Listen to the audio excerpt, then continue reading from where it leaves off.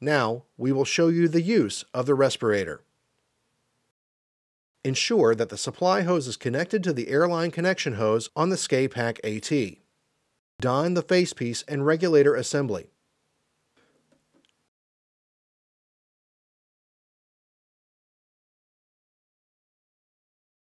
Once the facepiece is donned, if the regulator has not already been connected in standby position, install the mask-mounted regulator to the facepiece. If properly engaged, the regulator will not rotate. Inhale sharply to start the flow of air. Take several deep breaths to check the operation of the respirator. Breathing should be free and unrestricted. Next, fully open the cylinder valve by turning the valve knob to the full counterclockwise position. The electronic alarm will flash both lights for approximately 5 seconds to initialize and stop.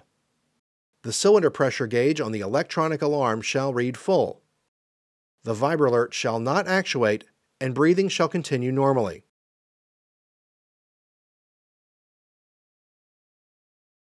Check the air pressure at the point of attachment of the air supply system to the supply hose during inhalation and exhalation. The air pressure shall meet the operating pressure requirements for the respirator at all times. Check the face-to-facepiece seal by holding your breath. Airflow into the facepiece should stop. If you hear airflow through the regulator or feel airflow past the face seal, do not proceed.